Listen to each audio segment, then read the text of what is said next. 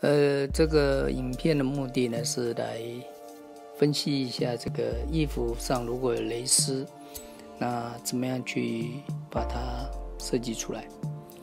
呃，画到一开始以后，我就发现说啊，这个面积可能太小了，尤其有蕾丝的部分，所以并不是很好表达。不过 anyway，我还是把画的大部分的观念我先放进去。首先可以看到用红黄这两个颜色来作为交界的一个底部的设计，那我就跳过中间的部分，所以可以看到快完成的时候，那红黄其实还在的，那这样多了一个灰黑。灰黑的目的呢，就是要衬托出肤色上面的一些色彩，但是呢，因为是红黄，所以这些色彩也不会很突兀。那少数的蓝呢，就会显现的。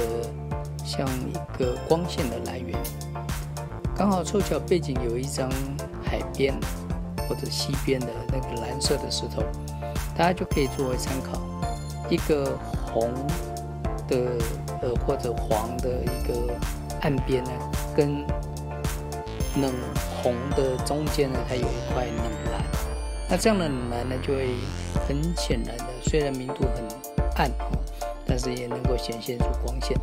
这个的目的大概就这样啊，我企图呢让这个蕾丝的光反射光呢能够用这样的一个方式来表达，也就是说，就像我们讲的夜间部的天鹅一样，天鹅虽然是白色的，可是如果在晚上呢，你要用什么方式来表达它是白色的？啊，那就是用个冷蓝或暖蓝。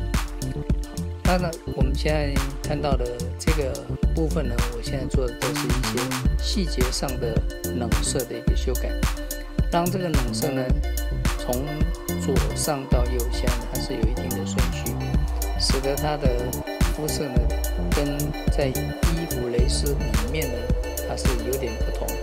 哪一边不同呢？你可以看到在外面的呢，因为强光的关系，有手指头，它已经产生了光晕。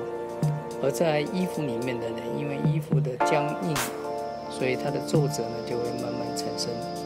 那在下一个阶段呢，我就会把皱褶放进去这个衣服里面。你们可以看到那个手臂啊，其实它因为透视的关系还是变得很大。